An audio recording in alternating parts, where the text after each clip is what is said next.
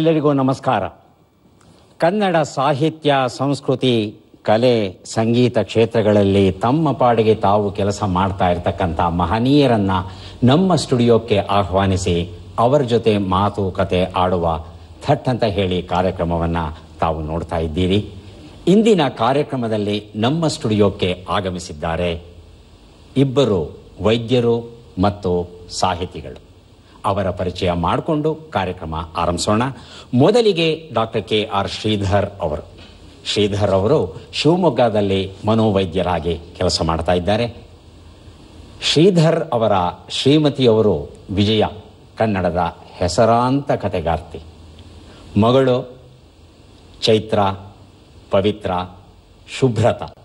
ಮೂವರೂ ವೈದ್ಯರೇ, ಅದೊಂದು ವಿಶೇಷ. ಅದಕ್ಕಿಂತ ಮಿಗಿಲಾಗಿ ಮೂವರು ಬರಹಗಳಲ್ಲಿ ತೊಡಕೊಂಡಿದ್ದಾರೆ. ಅಂದರೆ ಐದೂ ಜನ ಬರಹಗಾರರು. ಬಹಳ ಅಪರೂಪದ ಒಂದು ಕುಟುಂಬ ತಮ್ಮದು ಅಂತ ಅನಿಸುತ್ತೆ. ಈ ಕುಟುಂಬವನ್ನು ಬಹಳ ಸಮರ್ಥವಾಗಿ ನಿರ್ವಹಿಸ್ತಾ ಬಂದಿರೋರು ಶ್ರೀಧರ್ ಅವರು. ಶ್ರೀಧರ್ ಅವರಿಗೆ ಸ್ವಾಗತವನ್ನು ಕೋರ್ತಾ ಇದ್ದೇವೆ. ನಮಸ್ಕಾರ. ಶ್ರೀಧರ್ ಅವರ ಜೊತೆ ಬಂದಿದ್ದಾರೆ ಡಾಕ್ಟರ್ ಕೆ ಎಸ್ ಚೈತ್ರ ಅವರು. ಶ್ರೀಧರ್ ಅವರ ಹಿರಿಯ ಮಗಳು ದಂತವೈದ್ಯೆ ಬರಹಗಾರ್ತಿ ಕಿರುತೆರೆಯಲ್ಲಿ ತಮ್ಮನ್ನ ತೊಡಗಿಸಿಕೊಂಡಿದ್ದಾರೆ. ಜೊತೆಗೆ ಸಂಗೀತ ನೃತ್ಯ ಕ್ಷೇತ್ರಗಳಲ್ಲೂ ಸಹ ತಮ್ಮ ಛಾಪನ್ನ ಮೂಡಿಸಿದ್ದಾರೆ.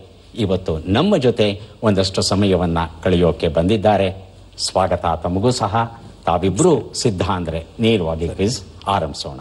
ಕಾರ್ಯಕ್ರಮದ ಮೊದಲ ಪುಸ್ತಕ, ಮೊದಲ ಪ್ರಶ್ನೆ. ಗ್ರೀಕ್ ಮಹಾಕವಿ ಹೋಮರನ ಒಡಿಸಿ ಎನ್ನುವ ಪುಸ್ತಕ ಯುಲಿಸಿಸ್ನ ಸಾಹಸಗಳನ್ನ ತಿಳಿಸುತ್ತೆ. Professor K K M Sitaramaiah ಅವರು ಇದನ್ನು ಬರೆದಿದ್ದಾರೆ. ನಮ್ಮ ಪ್ರಶ್ನೆ ಈಗ ಬಂತು. ಕರ್ನಾಟಕದಲ್ಲಿ ಮಲಿಯಾಬಾದ್ ಕೋಟೆ ಎಲ್ಲಿದೆ? ಆಯ್ಕೆಗಳು. ಬಿದರೆ ಗುಲ್ಬರ್ಗ ಬಿಜಾಪುರ ರಾಯಚೂರು. ಬಜರ್ ಒತ್ತಿದ್ದಾರೆ. ಮೊದಲಿಗೆ ಚೈತ್ರ ಅವರು. ರಾಯಚೂರು ಅನ್ಸುತ್ತೆ ಸರ್. ರಾಯಚೂರು ಅಂತ ಅನ್ಸುತ್ತೆ. ಶ್ರೀಧರ್ ಅವರು ಏನು ಹೇಳ್ತಾರೆ? ರಾಯಚೂರು ಅಂತ. ರಾಯಚೂರು ಹೌದು. ಪರೀಕ್ಷೆ ಮಾಡ್ಬೋದಾ? ಪರೀಕ್ಷಿಸೋಣ. ರಾಯಚೂರು ಅನ್ನೋದು ಸರಿಯಾದ ಉತ್ತರ. ಉಡಿಸಿ ಈ ಕೃತಿಯನ್ನ ಕೊಡ್ತಾ ಇದ್ದೇನೆ ಚೈತ್ರ ಅವರಿಗೆ. ರಾಯಚೂರಿಂದ ಐದು ಕಿಲೋಮೀಟರ್ ದೂರದಲ್ಲಿದೆ. ಈ ಕೋಟೆಯ ವಿಶೇಷ ಏನು ಅಂತ ಹೇಳ್ತಂದ್ರೆ, ಆ ಜೀವ ಸದೃಶವಾದ ಕಲ್ಲಿನ ಆನೆಗಳು. ಒಂದು ನಿಜವಾದ ಆನೆ, ಜೀವಂತ ಆನೆ ಎಷ್ಟು ದೊಡ್ಡದಾಗಿರುತ್ತೋ ಅಷ್ಟೇ ದೊಡ್ಡದಾದ ಕಲ್ಲಲ್ಲಿ ಕೆತ್ತಿರುವಂತಹ ಆನೆಗಳ ಶಿಲ್ಪ ಇದೆ. ಅದು ಈ ಪ್ರದೇಶದ ಒಂದು ವೈಶಿಷ್ಟ್ಯ. ಶ್ರೀಧರ್ ಅವರೇ ತಾವು ಮನೋವೈದ್ಯರಾಗಿ ಎಷ್ಟು ವರ್ಷ ಆಯ್ತು? ಮೂವತ್ತೈದು ಕಳೆದ ನಲವತ್ತೆರಡು ವರ್ಷ. ನಲವತ್ತೆರಡು ವರ್ಷ. ನಲವತ್ತೆರಡು ವರ್ಷಗಳಿಂದ ಕೆಲಸ ಮಾಡ್ಕೊಂಡ್ ಬರ್ತಾ ಇದ್ದೀರಾ? ಮೂವತ್ಮೂರು ವರ್ಷಗಳಿಂದ ಶಿವಮೊಗ್ಗದ ಸುತ್ತಮುತ್ತಲ ಗ್ರಾಮಾಂತರ ಪ್ರದೇಶಗಳೇನಿದೆ ಮುಖ್ಯವಾಗಿ ಆ ಹೊನ್ನಾವರದಲ್ಲಿ ಹೊನ್ನಾವರ ತಾಲೂಕುಗಳನ್ನ. ತಾಲೂಕುಗಳಲ್ಲಿ. ತಾವು ಉಚಿತ ಮನೋ ಗ್ರಾಮೀಣ ಮಾನಸಿಕ ಆರೋಗ್ಯ ಶಿಬಿರ ಅಂತ ನಾವು ಕರಿತೇವೆ ಅದನ್ನ. ನಡೆಸ್ಕೊಂಡು ಬರ್ತಾ ಇದ್ದೀರಿ. ಅದರ ಅನುಭವ ಏನ್ ಹೇಳ್ತೀರಾ?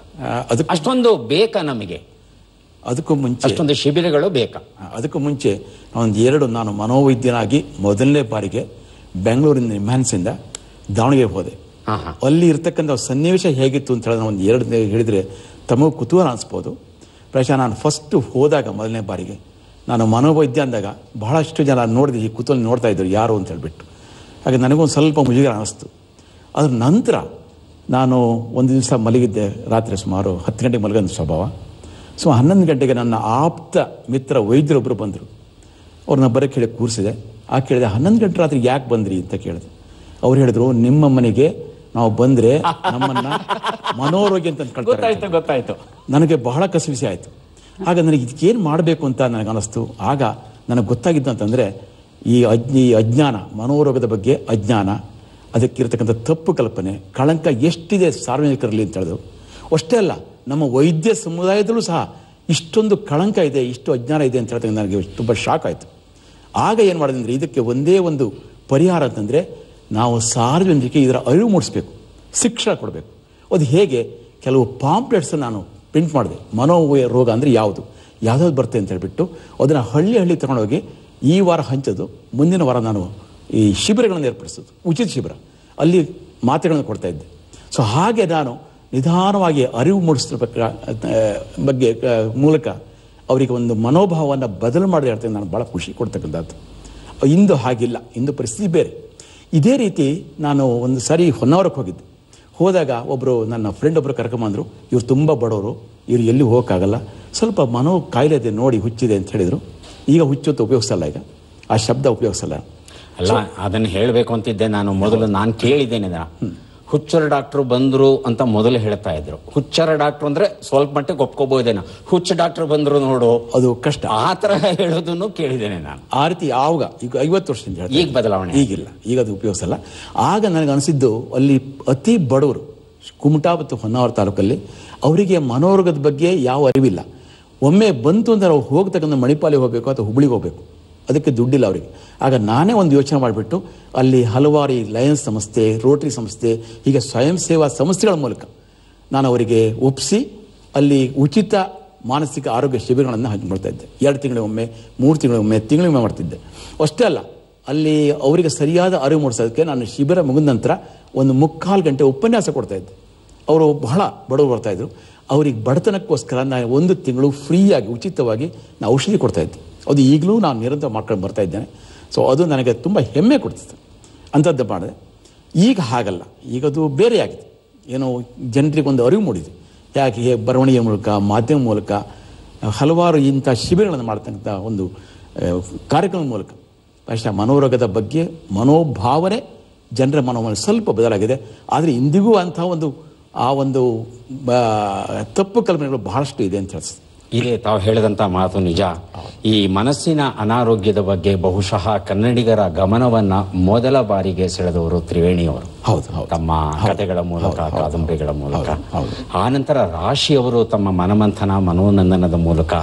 ಮನಸ್ಸಿನ ಬಗ್ಗೆ ಬಹಳ ಸೊಗಸಾದ ಕೆಲಸ ಮಾಡಿದ್ದಾರೆ. ಹೌದು.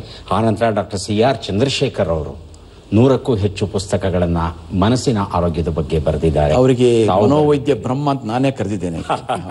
ತಾವು ಆ, ಮನೋ ಆರೋಗ್ಯಕ್ಕೆ ಸಂಬಂಧಪಟ್ಟ ಹಾಗೆ ಕೃತಿಗಳನ್ನು ಬರ್ಕೊಂಡು ಬಂದಿದ್ದೀರಿ. ಇನ್ನು ಅನೇಕ ಜನ ಈ ಒಂದು ಕ್ಷೇತ್ರದಲ್ಲಿ ಕೆಲಸ ಮಾಡ್ತಾ ಇರೋ ಕಾರಣ ಇವತ್ತು ಮನಸ್ಸಿನ ಆರೋಗ್ಯ ಅಂದ್ರೆ ಹೆದರ್ಕೋಬೇಕಾಗಿಲ್ಲ. ರಾತ್ರಿ ಹನ್ನೊಂದು ಗಂಟೆಗೆ ಹೋಗಿ ಮನೋವೈದ್ಯರನ್ನ ಭೇಟಿ ಆಗಬೇಕಾಗಿಲ್ಲ ಎಲ್ಲರೆದುರಿಗೆ ಹೋಗ್ಬೋದು. ಎಲ್ಲರ ಮುಂದೆನೂ ಬರಬಹುದು ಈಗ. ಆ, ಇಂತಹ ಒಂದು ಬದಲಾವಣೆ ಆಗೋದಕ್ಕೆ ತಮ್ಮಂತಹವರ ಒಂದು ಕೆಲಸ ತುಂಬ ಪ್ರಭಾವ ಬೀರಿದೆ, ಮುಖ್ಯವಾಗಿ ಕಾರಣವಾಗಿದೆ ಅನ್ನೋದನ್ನು ಹೇಳ್ಕೊಳ್ಳೋಕ್ಕೆ ತುಂಬ ಸಂತೋಷವಾಗುತ್ತೆ. ಮುಂದಿನ ಪುಸ್ತಕ ಮತ್ತು ಪ್ರಶ್ನೆಯನ್ನ ನೋಡೋಣ. ಆಲದ ಮರದ ಕೆಳಗೆ ಮತ್ತು ಇತರ ಕಥೆಗಳು, ಇಂಗ್ಲಿಷ್ ಮೂಲ ಆರ್ ಕೆ ನಾರಾಯಣ್, ಕನ್ನಡ ಅನುವಾದ ಡಾಕ್ಟರ್ ಎಚ್ ರಾಮಚಂದ್ರ ಸ್ವಾಮಿ ಅವರಿಂದ ನಾವು ಕೇಳುವ ಪ್ರಶ್ನೆ ಈಗ ಬಂತು. ಪ್ರಶ್ನೆಯನ್ನ ನೋಡೋಣ. ಆರುನೂರು ಕೋಟಿ ರೂಪಾಯಿ ವೆಚ್ಚದ Visvesvaraya institute of advanced technology ಯಾವ ಪ್ರದೇಶದಲ್ಲಿ ಬರಲಿದೆ? ಆಯ್ಕೆಗಳು. ರಾಮದೇವರ ಬೆಟ್ಟ ರಾಮನಗರ ಮಾರಿ ಕಣಿವೆ ಹಿರಿಯೂರು ಮುದ್ದೇನಹಳ್ಳಿ ಕಣಿವೆ ನಾರಾಯಣಪುರ ಮಾರಿಕೊಳ್ಳ ಕಳಸಾ ಬಂಡೂರಿ. ಮುದ್ದೇನಹಳ್ಳಿ. ಮುದ್ದೇನಹಳ್ಳಿ ಕಣಿವೆ ನಾರಾಯಣಪುರ ಅಂತ ಹೇಳ್ತಾ ಇದ್ದಾರೆ. ಶ್ರೀಧರ್ ಅವರು ಚೈತ್ರ ಅವರೇ. ರಾಮದೇವರ ಬೆಟ್ಟ ರಾಮನಗರ. ರಾಮದೇವರ ಬೆಟ್ಟ ರಾಮನಗರ. ಉತ್ತರವನ್ನ ನೋಡೋಣ. ಮುದ್ದೇನಹಳ್ಳಿ ಕಣಿವೆ ನಾರಾಯಣಪುರ ಅನ್ನೋದು ಸರಿಯಾದ ಉತ್ತರ. ಶ್ರೀಧರ್ ಈ ಉತ್ತರವನ್ನು ಕೊಟ್ಟಿದ್ದಾರೆ. ಆಲದ ಮರದ ಕೆಳಗೆ ಈ ಒಂದು ಪುಸ್ತಕವನ್ನು ಕೊಡ್ತಾ ಇದ್ದೇನೆ. ವಿಶ್ವೇಶ್ವರಯ್ಯ ಅವರು ಹುಟ್ಟಿದ ಸ್ಥಳ ಮುದ್ದೇನಹಳ್ಳಿ. ಹಾಗಾಗಿ ಆ ಪ್ರದೇಶದಲ್ಲೇನೆ ಈ ಒಂದು ತಾಂತ್ರಿಕ ಶಿಕ್ಷಣ ಸಂಸ್ಥೆ ಬರ್ತಾ ಇದೆ. ಚೈತ್ರ ಅವರೇ ತಾವು ದಂತವೈದ್ಯೆ ಆಗಿದ್ದುಕೊಂಡು ಸಾಹಿತ್ಯ ಕ್ಷೇತ್ರದಲ್ಲಿ ಬಹಳ ಒಳ್ಳೆಯ ಪುಸ್ತಕಗಳನ್ನು ತಾವು ಕೊಟ್ಟಿದ್ದೀರಾ ನಮಗೆ? ಅದರಲ್ಲೂ ತಮ್ಮ ಅನುಭವಗಳ ಆಧಾರದ ಮೇಲೆ ಆರೋಗ್ಯ ಕ್ಷೇತ್ರಕ್ಕೆ, ಮನಸ್ಸಿನ ಕ್ಷೇತ್ರಕ್ಕೆ ಸಂಬಂಧಪಟ್ಟಂತಹ ಕೃತಿಗಳನ್ನು ಏನು ಬರೆದಿದ್ದೀರಿ? ಪುಟ್ಟ ಪುಟ್ಟ ಅಧ್ಯಾಯಗಳು. ಆ ಪುಟ್ಟ ಪುಟ್ಟ ಅಧ್ಯಾಯಗಳನ್ನೇ ನಿಜಕ್ಕೂ ಉದಾಹರಣೆಗೆ ಈ ಕೊಳ್ಳುಬಾಕ ಸಂಸ್ಕೃತಿ. ಬಹಳ ಚೆನ್ನಾಗಿ ಬರೆದಿದ್ದೀರಿ. ಆ ಕೊಳ್ಳುಬಾಕ ಸಂಸ್ಕೃತಿ ನಮಗೇ ಗೊತ್ತಿಲ್ಲದಿರೋ ಹಾಗೆ ನಮ್ಮನ್ನು ಆಳ್ತಾ ಇರುತ್ತೆ ಅದನ್ನು. ಅದನ್ನು ಗುರುತಿಸೋದು ಹೇಗೆ, ಪಾರಾಗೋದು ಹೇಗೆ, ಬಹಳ ಒಳ್ಳೆ ಕೆಲಸ ಮಾಡ್ಕೊಂಡ್ಬರ್ತಿದ್ದೀರಿ ಹಾಗೆ ನನಗೆ ಬಹಳ ವಿಶೇಷ ಅಂತ ಅನಿಸಿದ್ದು ತಾವು ವಿಜಯ ಕಲಾನಿಕೇತನ ಟ್ರಸ್ಟ್ನ ಒಬ್ಬ ಟ್ರಸ್ಟಿಯಾಗಿ, ಧರ್ಮದರ್ಶಿಯಾಗಿ. ಆ ಟ್ರಸ್ಟಿನ ಪ್ರತಿಯೊಂದು ಚಟುವಟಿಕೆಯಲ್ಲಿ ಪ್ರತ್ಯಕ್ಷವಾಗಿ, ಪರೋಕ್ಷವಾಗಿ ಭಾಗವಹಿಸ್ತಾ ಇದ್ದೀವಿ. ಏನಿದು ಈ ಟ್ರಸ್ಟ್? ಕನ್ನಡ ಸಾಹಿತ್ಯ ಸಂಸ್ಕೃತಿಗೆ ಈ ಟ್ರಸ್ಟಿನ ಕೊಡುಗೆ ಏನು? ನಮ್ಮ ಟ್ರಸ್ಟಿನ ಹೆಸರು ಶ್ರೀ ವಿಜಯ ಕಲಾನಿಕೇತನ ಅಂತ ಹೇಳಿ. ನಮ್ಮ ತಂದೆಯವರ ಹೆಸರು ಶ್ರೀಧರ್, ತಾಯಿಯವರ ಹೆಸರು ವಿಜಯ.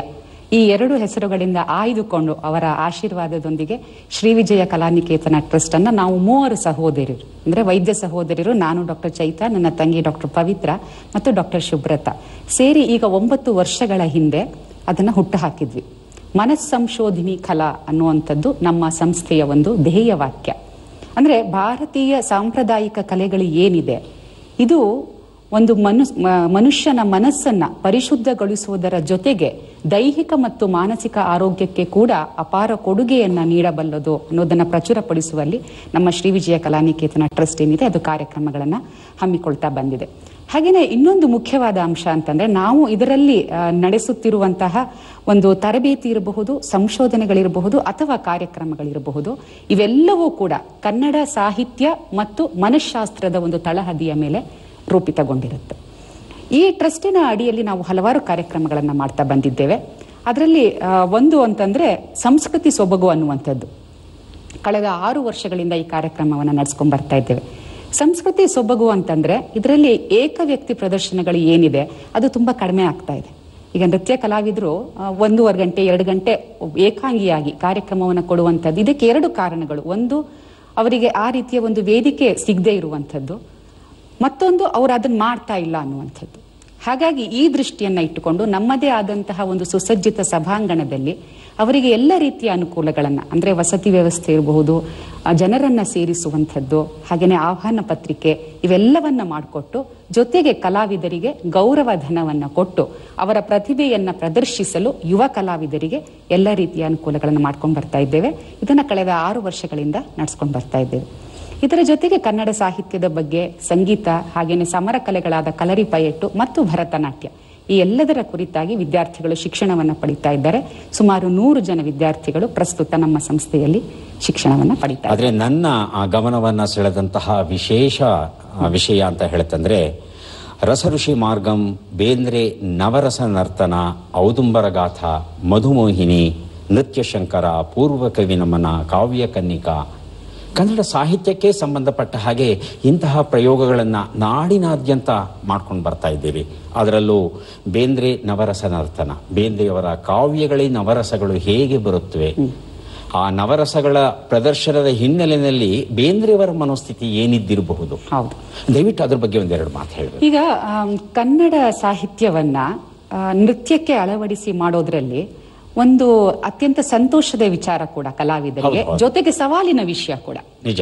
ಯಾಕಂದ್ರೆ ಕವಿ ಏನು ಭಾವವನ್ನ ಇಟ್ಕೊಂಡು ಬರ್ದಿರ್ತಾನೋ ಕವನವನ್ನ ಅಂದ್ರೆ ಅಮೂರ್ತವಾದಂತಹ ಭಾವಕ್ಕೆ ಒಂದು ಮೂರ್ತ ರೂಪವನ್ನ ಕೊಡುವಂತಹ ಹೊಣೆಗಾರಿಕೆ ಕಲಾವಿದರಿಗೆ ಇರುತ್ತೆ. ಹಾಗಾಗಿ ನಾ ಹೇಳಿದ್ದು ಒಂದು ಸಂತೋಷವನ್ನ ಕೊಡುವಂತದ್ದು ಹಾಗೆ ಸವಾಲಿನ ವಿಷಯ ಕೂಡ. ಇದ್ರ ಜೊತೆಗೆ ಇದನ್ನೆರಡನ್ನು ಮಾಡ್ತಾ ಮಾಡ್ತಾನೆ ನೋಡುಗರಿಗೆ ಮತ್ತು ಪ್ರೇಕ್ಷಕರಿಗೆ ಸಾಹಿತ್ಯವನ್ನ ಅತ್ಯಂತ ಆಕರ್ಷಕವಾಗಿ ಮುಟ್ಟಿಸುವಂತಹ ಕೆಲಸ ಕೂಡ ಅದರಲ್ಲಿ ಆಗುತ್ತೆ. ಹಾಗಾಗಿ ನಾವು ಇದನ್ನ ಇಟ್ಕೊಂಡಿದ್ದೇವೆ. ಉದಾಹರಣೆಗೆ ಬೇಂದ್ರೆ ನವರಸ ನರ್ತನದನ್ನು ತೆಗೆದುಕೊಂಡ್ರೆ ಬೇಂದ್ರೆ ಕವನವನ್ನ ಇಟ್ಕೊಂಡು ಯಾವ ರೀತಿ ಅದರಲ್ಲಿ ನವರಸಗಳನ್ನ ತೋರಿಸಲಿಕ್ಕೆ ಸಾಧ್ಯ ಅನ್ನುವಂಥದ್ದು. ಈಗ ಉದಾಹರಣೆಗೆ ನಾನು ಬಡವ ನೀನು ಬಡವಿ ವಲವೇ ನಮ್ಮ ಬದುಕು ಅಂತ ಏನಿದೆ ಇದನ್ನ ಶೃಂಗಾರ ರಸಕ್ಕೆ ಅತ್ಯುತ್ತಮವಾಗಿ ಮಾಡಲಿಕ್ಕೆ ಸಾಧ್ಯ ಇದೆ. ಹಾಗೇನೆ ನೀ ಹಿಂಗ ನೋಡಬೇಡ ನನ್ನ. ಇದನ್ನ ಜನಪ್ರಿಯ ಒಂದು ಪ್ರಣಯ ಗೀತೆಯಾಗಿ ಅದನ್ನ ಅಭಿನಯಿಸೋದು ಉಂಟು ಆದ್ರೆ ಅದ ಅದ ಸಂದರ್ಭ ಅದಲ್ಲ. ಒಂದು ಮರಣ ಕರುಣಾರಸ. ಕರುಣಾರಸವನ್ನ ಎಷ್ಟು ಒಳ್ಳೆಯ ಸಾಹಿತ್ಯ ಇದೆ ಅಂತಂದ್ರೆ ಅದರಲ್ಲಿ ಎಲ್ಲ ರೀತಿಯ ಭಾವನೆಗಳನ್ನ ತೋರಿಸಲಿಕ್ಕೆ ಸಾಧ್ಯ. ಖಂಡಿತವಾಗಿ ಇದು ಸವಾಲಿನ ಕೆಲಸ ಹೌದು. ಆದ್ರೆ ಒಬ್ಬ ಸೃಜನಶೀಲ ಕಲಾವಿದೆಯಾಗಿ ಹೊಸ ಹೊಸ ಸಾಧ್ಯತೆಗಳನ್ನ ಹುಡುಕುವಂಥದ್ದು ಕಾವ್ಯವನ್ನ ಜನರಿಗೆ ಮುಟ್ಟಿಸುವಂತಹ ಕೆಲಸಕ್ಕೆ ಈ ನೃತ್ಯವನ್ನ ನಾವು ಮಾಧ್ಯಮವನ್ನಾಗಿ ಇಟ್ಕೊಂಡು ಅದರಲ್ಲಿ ಹಲವಾರು ಪ್ರಯೋಗಗಳನ್ನ ಮಾಡ್ತಾ ಇದ್ದೇವೆ. ಈಗ ಮಧುಮೋಹಿನಿಯನ್ನ ತೆಗೆದುಕೊಂಡ್ರೆ ಇದು ಪೂತಿನ ಅವರ ಒಂದು ಮಧುಮೋಹಿನಿ ಎನ್ನುವ ನೀಳ್ಗವಿತೆ ಇದು. ಇದು ಪೌರಾಣಿಕ ಕಥೆಯಾದಂತಹ ಮಂಥನ, ಸಮುದ್ರ ಮಂಥನವನ್ನ ಒಳಗೊಂಡಿದೆ. ಇದರಲ್ಲಿ ನಾವು ಇಟ್ಕೊಂಡಿರೋದು ಮನಃಶಾಸ್ತ್ರದ ಹಿನ್ನೆಲೆ ನಾನು ಈಗಾಗಲೇ ಹೇಳಿದ ಹಾಗೆ. ಇದರಲ್ಲಿ ಸಮುದ್ರವನ್ನ ಕಡಿತಾರೆ, ಅಸುರರು ಮತ್ತು ದೇವತೆಗಳು ಸೇರ್ಕೊಂಡು. ಆದ್ರೆ ನಮ್ಮ ಮನೋರಂಗದಲ್ಲಿ ಯಾವ ರೀತಿ ಸುಗುಣ ಮತ್ತು ದುರ್ಗುಣಗಳ ನಡುವೆ ಸಂಘರ್ಷ ನಿರಂತರವಾಗಿ ನಡೀತಾ ಇರುತ್ತೆ, ಅದರಿಂದ ಯಾವ ರೀತಿ ಹಾಲಾಹಲ ಅನ್ನೋದು ಉತ್ಪನ್ನ ಆಗುತ್ತೆ, ನಟನಾದವನು ಹೇಗೆ ಆ ವಿಷವನ್ನ ಹೀರಿ ಒಳ್ಳೆಯದನ್ನ ಸಮಾಜಕ್ಕೆ ಕೊಡಬೇಕು, ಈ ಎಲ್ಲ ಅಂಶಗಳನ್ನ ಇಟ್ಕೊಂಡು ಈ ಮಧುಮೋಹಿನಿ ಅನ್ನುವಂತಹ ನೃತ್ಯ ರೂಪಕವನ್ನ ನಾವು ಮಾಡ್ಕೊಂಡು ಬಂದಿದ್ದೇವೆ. ಬಹಳ ಬಹಳ ಒಳ್ಳೆ ಕೆಲಸ ಮಾಡ್ತಾ ಇದ್ದೀರಿ, ತಾವು ಮತ್ತು ತಮ್ಮ ಸಹೋದರಿ ಪವಿತ್ರ ಅವರು. ಶುಭ್ರತಾ ಅವರೂ ಇದರಲ್ಲಿ ಪಾಲ್ಗೊಳ್ತಾ ಇದ್ದಾರೆ. ಇಡೀ ಮನೆತನ ಪಾಲ್ಗೊಳ್ಳೋದಿದೆಯಲ್ಲ? ಬಹಳ ಬಹಳ ಸಂತೋಷವನ್ನು ಕೊಡುವಂತಹ ವಿಚಾರ. ಸದ್ಯಕ್ಕೆ ಮುಂದಿನ ಪುಸ್ತಕ ಮತ್ತು ಪ್ರಶ್ನೆಯನ್ನ ನೋಡೋಣ. ದೇವನೂರು ಮಹಾದೇವ ಅವರ ಸಾಹಿತ್ಯವನ್ನ ಕುರಿತು ಬಂದಂತಹ ಅಪರೂಪದ ಕೃತಿ, ಯಾರ ಜಪ್ತಿಗೂ ಸಿಗದ ನಿವಿಲುಗಳು? ಪ್ರಶ್ನೆಯನ್ನ ನೋಡೋಣ. ಈ ಕರ್ನಾಟಕ ಸಂಗೀತ ವಿದ್ವಾಂಸರನ್ನ ಗುರುತಿಸಿ ಚಿತ್ರ ಈಗ ಬಂತು.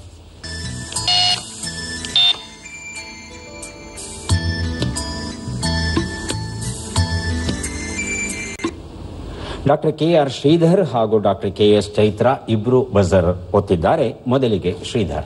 ಜಯಚಾಮರಾಜೇಂದ್ರ ಒಡೆಯರ್. ಜಯ ಚಾಮರಾಜೇಂದ್ರ ಒಡೆಯರ್. ಚೈತ್ರ ಅವರೇ? ಅದೇ ಉತ್ತರ. ಅದೇ ಉತ್ತರ.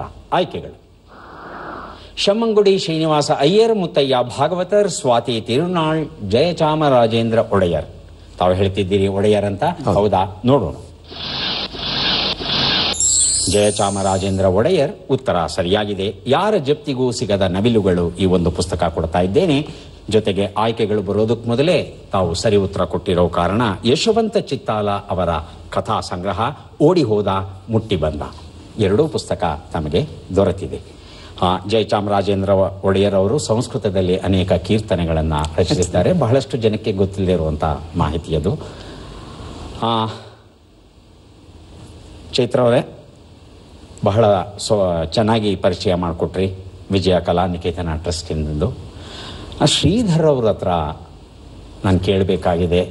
ಮನೋವೈದ್ಯರಾಗಿ ತಾವು ಅನೇಕ ಜನರಿಗೆ ಚಿಕಿತ್ಸೆಯನ್ನ. ಕೊಟ್ಟಿದ್ದೀರಾ. ಆತ ಮನೋವಿಭ್ರಮದಲ್ಲಿ ಇದ್ದಾಗ ನಿಮ್ಮನ್ನ ಗುರುತಿಸ್ತಾನೋ ಇಲ್ವೋ ನನಗೆ ಗೊತ್ತಿಲ್ಲ.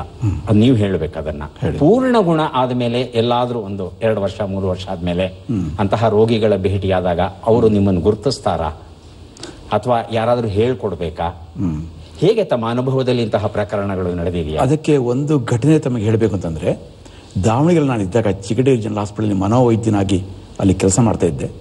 ಆಗ ಒಬ್ಬ ವ್ಯಕ್ತಿ ಈ ಬಟ್ಟೆ ಕೊಳಕು ಬಟ್ಟೆ ಧರಿಸಿ ತನ್ನೇ ಮಾತಾಡ್ತಕ್ಕಂಥ ತಿರುಗ್ತಾ ಇದ್ದ ಅಲ್ಲಿ ಆ ಪ್ರಾಂಗಣದಲ್ಲಿ. ಆಗ ನನ್ನ ಸಹೋದ್ಯೋಗಿ ಒಬ್ಬರು ಹೇಳಿದ್ರು ಶ್ರೀಧರ್ ಇವರೇನು ಸರಿ ಆಗ್ತಾರಾ ಸರಿ ಮಾಡ್ತಾರಾ ಕೇಳಿದ್ರು ಮಾಡ್ತೀರಾ ಕೇಳಿದ್ರು. ಸವಾಲು? ಸವಾಲು. ನಾನು ಹೇಳಿದೆ ನನಗೊಂದು ಸವಾಲು ಅನ್ನಿಸ್ತಾವೆ ಹೇಳಿದಾಗ. ನಾನು ಕೂಡಲೇ ಹೇಳಿದೆ, ಇಲ್ಲ ಸರಿ ಮಾಡೋಕ್ಕೆ ಸಾಧ್ಯವಿದೆ, ನಿಮ್ಮ ತಪ್ಪು ಕಲ್ಪನೆ ಆಗಲ್ಲ ಅಂತ ಹೇಳ್ತಕ್ಕಂಥದ್ದು ಅಂತ ಹೇಳಿದೆ. ಹೇಳಿಬಿಟ್ಟು ಅವರಿಗೆ ಯಾರು ಇರಲಿಲ್ಲ ಒಬ್ಬನೇ ಇದ್ದ. ನಾವು ಆ ರೀತಿ ಟ್ರೀಟ್ಮೆಂಟ್ ಮಾಡಾಗಿಲ್ಲ. ಆದರೂ ಅವನು ರಿಸ್ಕ್ ತಗೊಂಡ್ಬಿಟ್ಟು ನಾನು ನಮ್ಮ ವಾರ್ಡ್ ಬಾಯ್ ಅಂತ ಹೇಳಿಬಿಟ್ಟು ಅವನ ವಾರ್ಡಿಗೆ ಸೇರಿಸಿದೆ. ಸೇರಿಸ್ಬಿಟ್ಟು ಟ್ರೀಟ್ಮೆಂಟ್ ಕೊಟ್ಟೆ. ನಾಲ್ಕು ದಿವಸದಲ್ಲಿ ಅವನು ಪೂರ್ತಿ ಆರಾಮಾದ ಆಗ ಅವನ ವಿಳಾಸ ಏನು ಅಂತ ನಾನು ಕೇಳಿಬಿಟ್ಟು ಅಲ್ಲಿ ಹೇಳಿ ಕಳಿಸಿದೆ ಅವ್ರ ಹೆಂಡತಿ ಬಂದರು ಕರ್ಕೊಂಡೋದ್ರು ಅವ್ರನ್ನ. ಆಮೇಲೆ ಮಾತ್ರೆ ಕೊಟ್ಟೆ, ಎಲ್ಲ ಬರ್ಕೊಟ್ಟೆ. ನನಗೆ ಇದು ಮರ್ತೋಗಿತ್ತು ಅಷ್ಟೆಲ್ಲ ಆದಮೇಲೆ ಅದ ನಂತರ ನಾನು ಶಿವಮೊಗ್ಗಕ್ಕೆ ವರ್ಗ ಆಯಿತು. ಅಲ್ಲಿ ಬಂದಾಗ ಒಂದು ದಿವಸ ಸುಮಾರು ಸಾಯಂಕಾಲ, ಅವಾಗ ಈ ಪವರ್ ಕಟ್ ಇತ್ತು ಎಲೆಕ್ಟ್ರಿಕ್ ದೀಪ ಇರಲಿಲ್ಲ. ಹಣ್ಣಿನ ಅಂಗಡಿ ಇತ್ತು, ಮೂಸಂಬಿ ಹಣ್ಣು. ಹೋಗಿ ತಗೊಂಡೆ ಮೂಸೆಮೆ ಹಣ್ಣು ಕೊಡ್ತೀರಾ, ಹೇಗೆ ಅಂತೇಳಿ ಸರ್, ತಗೊಳ್ಳಿ ಅಂತಂದು. ತಗೊಂಡಾಗ ದುಡ್ಡು ಕೊಡೋಕೆ ಹೋದೆ ಎಷ್ಟಪ್ಪ ಅಂತ ಹೇಳ್ಬಿಟ್ಟು, ಆ ಮಹಿಳೆ ಅವ್ರ ಹೆಂಡತಿ, ಆಮೇಲೆ ನನಗೆ ಗೊತ್ತಾಗಿದ್ದು, ಅವರು, ಬೇಡ ಸರ್, ದುಡ್ಡು ಬೇಡ ಅಂತಂದ್ರು ಅರೆ, ಯಾಕೆ? ದುಡ್ಡು ಬೇಡ ಯಾಕೆ? ತಗೊಳ್ಬೇಕು, ಜಾಸ್ತಿ ತಗೊಳ್ಬೇಡಿ ಅಂತಂದೆ ತಮಾಷೆ ಆಗ ಅವ್ರು ಹೇಳಿದ್ರು, ಸರ್, ನಮ್ಮ ಯಜಮಾನರು ಇವತ್ತು ಹೀಗಾರಕ್ಕೆ ತಾವೇ ಅದಕ್ಕೆ ಜವಾಬ್ದಾರರು. ಅದಕ್ಕೆ ತಮ್ಮ ಒಂದು ಇದರಿಂದ ಆಗಿದ್ದೆ, ಕೈಗುಣ ಅಂತ ಹೇಳಿದ್ರು. ಯಾಕೆ ಅಂತಂದೆ ಸರ್ ದಾವಣಗೆರೆ ನಿಮ್ಗೆ ನೆನಪಿದೆಯಾ ಸರ್? ನನಗೆ ಹೇಳಿ ನೀವು. ಒಬ್ಬ ಪೇಷಂಟನ್ನ ಟ್ರೀಟ್ಮೆಂಟ್ ಮಾಡಿಬಿಟ್ಟು ಆಮೇಲೆ ಚೆನ್ನಾಗಿದೆ ಹೇಳಿ ಕಳಿಸಿದ್ರಿ. ಆಮೇಲೆ ಮಾತ್ರೆ ಕೊಟ್ಟಿದ್ರಿ. ನೆನಪಿದೆಯಾ ಸರ್? ಅಂತಂದ್ರು. ನನಗೆ ಥಟ್ ಅಂತ ನೆನಪು ಬಂತು. ಓಹೋ, ಇವರು ಅಂತ ಹೇಳ್ಬಿಟ್ಟು. ನನಗೆ ಆವಾಗ ಅನಿಸ್ತು. ಜನರಲ್ಲಿ ಇರತಕ್ಕಂಥ ಒಂದು ತಪ್ಪು ಕಲ್ಪನೆ ಏನೋ ಅಂದರೆ, ಮನೋರೋಗಿಗಳು ಅಂತಂದರೆ ಅವ್ರು ಹೊಡಿತಾರೆ, ಬಡಿತಾರೆ, ಅವರಿಗೆ ಹೃದಯ ಇಲ್ಲ, ಅವರಿಗೆ ಭಾವನೆ ಇರಲ್ಲ. ತಾವು ಹೇಳಿದಾಗ ಈಗ, ಯಾವ ನಾವು ನೋಡ್ತೇವೆ, ಆಮೇಲೆ ಏನಾಗ್ತಾರೆ ಅಂತ ಹೇಳ್ಬಿಟ್ಟು, ಇಲ್ಲ ಖಂಡಿತವಾಗೂ ಸಾಧ್ಯ ಅಂತ ಹೇಳೋದು ಇದೊಂದು ನಿದರ್ಶನ. ಇಂಥದ್ದು ನಾನು ಬೇಕಾದಷ್ಟು ಬಲ್ಲೆ ಹಾಗೆ ಮನೋರೋಗಿಗಳು ಸರಿಯಾದ ಚಿಕಿತ್ಸೆ ಕೊಟ್ಟರೆ ದೊರೆತರೆ ಅವರು ನಮ್ಮ ಹಾಗೆ ಪ್ರತಿಯೊಬ್ಬ ಸಾಮಾನ್ಯ ಜನರು ಆಗ್ತಾರೆ. ಅವರು ಒಳ್ಳೆಯ ಕಾರ್ಯ ನಿರ್ವಹಣೆ ಮಾಡಬಲ್ಲರು. ಅಂದರೆ ಸರಿಯಾದ ಸಾಧನೆ ಮಾಡಬಲ್ಲರು. ಇಂಥದ್ದು ಬೇಕಾದಷ್ಟು ನಿದರ್ಶನ ಇದೆ ಸರ್. ಸೊ ಅದು ನಿಮ್ಗೊಂದು ಇದು. ಜ್ವರ ಬಂದರೆ ನೆಗಡಿ ಬಂದರೆ ಹೌದು. ಮಾತ್ರೆ ತಗೊಂಡ್ರೆ ಗುಣ ಆಗುತ್ತೆ. ಹೌದು. ಅದೇ ತರಹ ಮನಸ್ಸಿಗೂ ಕಾಯಿಲೆಗಳು ಬರುತ್ತೆ. ಬರುತ್ತೆ. ಔಷಧಿ ತಗೊಳ್ಳಿ ಹೌದು. ಗುಣ ಆಗುತ್ತೆ. ಹೌದು. ಅದೇ ರೀತಿ ನನಗೆ ಇನ್ನೊಂದು ಹೇಳಕ್ಕೆ ಇಷ್ಟಪಡ್ತೇನೆ. ಇದನ್ನ ನನಗೆ ಯೋಚನೆ ಬಂದಾಗ ನಾವು ಹೇಳಿದಾಗ ನಾವು ರೋಗಿಗಳನ್ನ ಚಿಕಿತ್ಸೆ ಕೊಡ್ತೇವೆ. ಹುಷಾರಾಗ್ತಾರೆ. ರೋಗ ಬರದೇ ಹೋದಾಗ ಮಾಡಬೇಕಲ್ಲ ಈ ಸಮಗ್ರ ಆರೋಗ್ಯ. ಅದ್ರ ಬಗ್ಗೆ ನಾವು ಒಂದು ಯೋಚನೆ ಮಾಡಿಬಿಟ್ಟು ಕ್ಷೇಮ ಟ್ರಸ್ಟ್ ಅಂತ ಎರಡು ಸಾವಿರದ ಇಸ್ವಿಯಲ್ಲಿ ನಾನು ಒಂದು ಪ್ರಾರಂಭ ಮಾಡಿದೆ. ನಮ್ಮ ಒಂದು ನಾಲ್ಕೈದು ವೈದ್ಯ ಸಹೋದ್ಯೋಗಿಗಳ ಜೊತೆಗೆ ಶುರು ಮಾಡಿದೆ. ಅದರ ಒಂದು ಅದಕ್ಕೆ ಏನು ಹೆಸರಿಟ್ಟೆ ಅಂತಂದರೆ ಸಮಗ್ರ ಆರೋಗ್ಯ ಉಚಿತ ಆಪ್ತ ಸಲಹಾ ಕೇಂದ್ರ ಅಂತ. ಅದನ್ನು ನಮ್ಮ ನರಸಿಂಹ ಮಹಡಿ ಮೇಲೆ ನಡೆಸ್ತಾ ಇದ್ದೆ. ಇವತ್ತಿಗೂ ನಡೀತಾ ಇದೆ ಅದು. ಅಲ್ಲಿ ಮದುವೆ ಏನು ಮಾಡ್ತಿದ್ರು? ಯಾರೇ ಪೇಷಂಟ್ ರೋಗಿ ಬರಲಿ ಅವರಿಗೆ ಆಪ್ತ ಸಮಾಲೋಚನೆ ಮೂಲಕ ನಾವು ಅವರಿಗೆ ಹೇಳ್ತಕ್ಕಂಥದ್ದು. ಏನೋ ಸಮಾಧಾನ ಹೇಳ್ತಕ್ಕಂಥದ್ದು. ಇದು ಯಾತಕ್ಕೆ ಅಂತಂದರೆ ಈ ಮಾನಸಿಕ ಒತ್ತಡ ಅಂತ ಕೇಳಿರ್ಬೋದು ಈಗ ಹಲವಾರು ಕಾಯಿಲೆ ಬರತಕ್ಕಂಥದ್ದು ಈ ಒತ್ತಡದಿಂದ.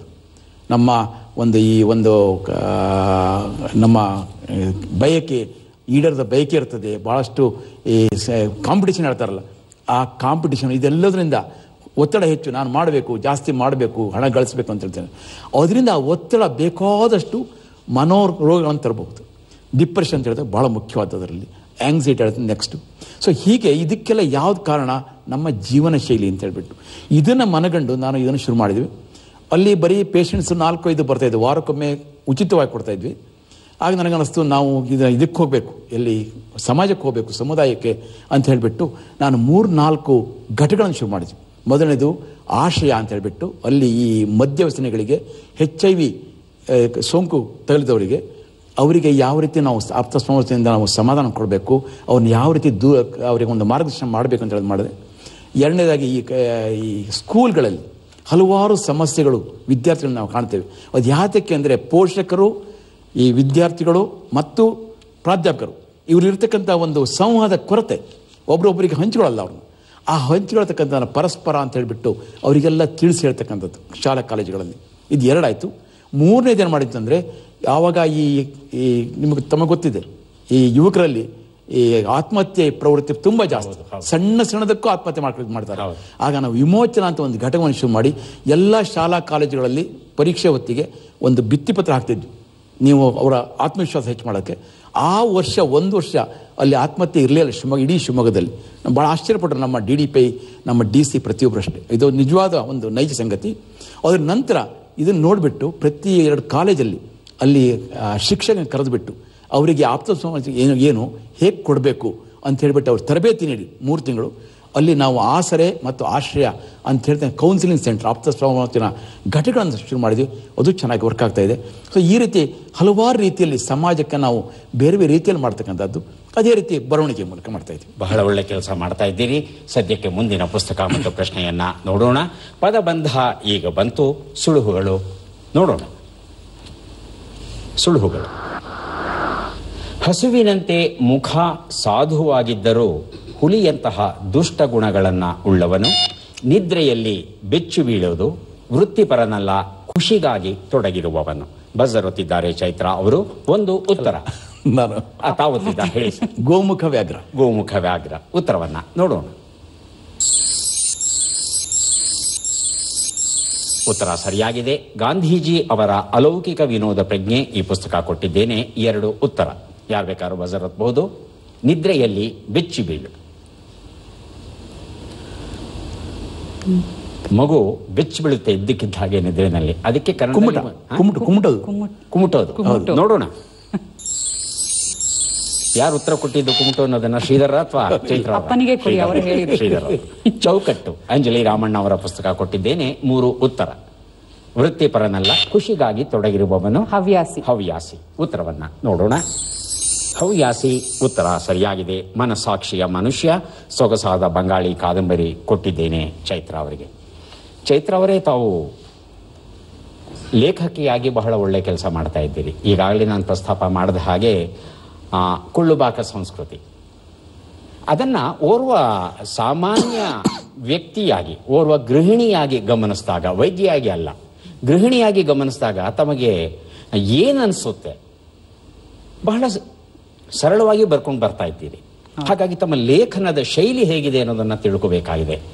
ಆ, ಮಕ್ಕಳ ಆರೋಗ್ಯದ ಬಗ್ಗೆ ಹೇಗೆ ಬೆಳೆಸಬೇಕು ಅನ್ನೋದ್ರ ಬಗ್ಗೆ ದಯವಿಟ್ಟು ಏನಾದರೂ ಒಂದು ನಮಗಾಗಿ ಹೇಳ್ತೀರಾ? ಅದೇ ನಾನು ಏನಂದ್ರೆ ಒಂದು ಅತ್ಯಂತ ಆಪ್ತವಾಗಿ ನನಗೆ ಅನಿಸಿದಂತಹ ಅನುಭವಗಳನ್ನು ಓದುಗರೊಂದಿಗೆ ಹಂಚಿಕೊಳ್ಳುವಂತಹ ಪ್ರಕ್ರಿಯೆಯನ್ನು ನನ್ನ ಬರವಣಿಗೆ ಅಂತ ನಾನು ಭಾವಿಸಿದ್ದೀನಿ.